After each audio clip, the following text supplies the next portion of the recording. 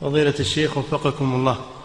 يقول نحن نلبس أحذية مستوردة من بلاد الكفار فإذا كانت من جلد لا نعلم إذا كان الحيوان ميتا بذكاة أو بغير ذكاة فما حكم لبس مثل ذلك؟ الأصل الإباحة ما لم تعلم أنه من ميتة فلا تستعمله أما ما لم تعلم فالأصل الإباحة ولا تشدد على نفسك.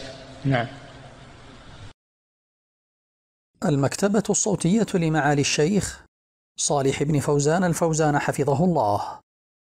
فتاوى شرح كتاب العمدة في الفقه للإمام ابن قدامة المقدسي الحنبلي رحمه الله.